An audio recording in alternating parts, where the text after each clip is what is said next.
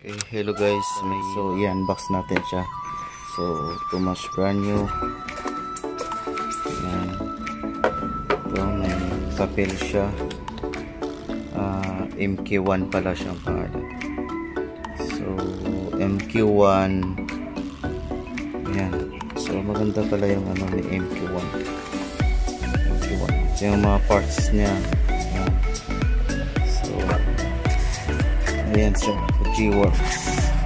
So, may mga different ito siya. Ito yung baril natin.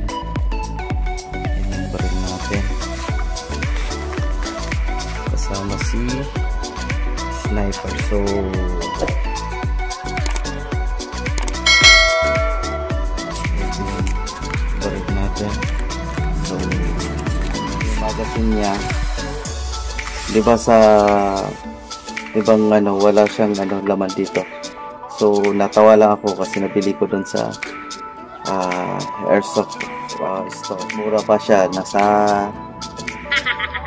to, ay 2,595. So, ang FPS niya is umaabot ng 450. So, mas mainam pa siya sa rung barrel, ay barrel. So, masakit siya. Hindi, hindi ko alam kung ano papayagan sa laro to, pero alam ko is 350 sa laro. Ito lang masyadong malakas. Hindi ko alam kasi pwede siya sa pang sniper. So, pwede siguro kung sniper ka, maganda ito gamit mo. Pero, metal yung ganito niya at metal with mixed with plastic. So, plastic din yung ganito niya. Ay, metal pala to plastic to. Tapos, ito yung magazine.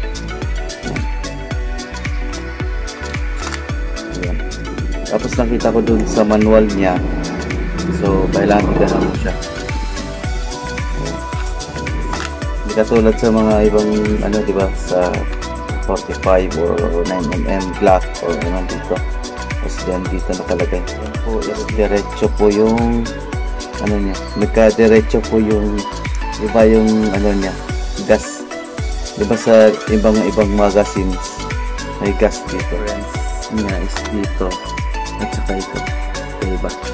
Ito yung labasan ng hangin. Ito naman, dito ng labasan ng hangin. So wala kang makita ng labasan. Kamatay ng daga sa bahay nyo. Ito mas maganda.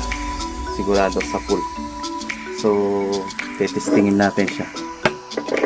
Mga, mga ka, ano, ka airsoft. Ito yung green gas natin. Ayan. So, ayun. Lagyan ko siya ng 3 bullets. Ah, 0.23. Ito mabigat-bigat ng konti.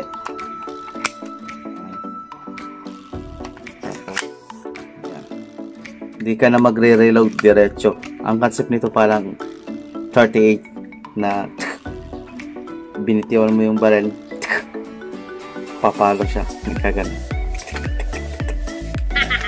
so iputok lang natin para makita natin kung gaano siya so ito siya. Ito try natin ka- gaano kalakas. Yan.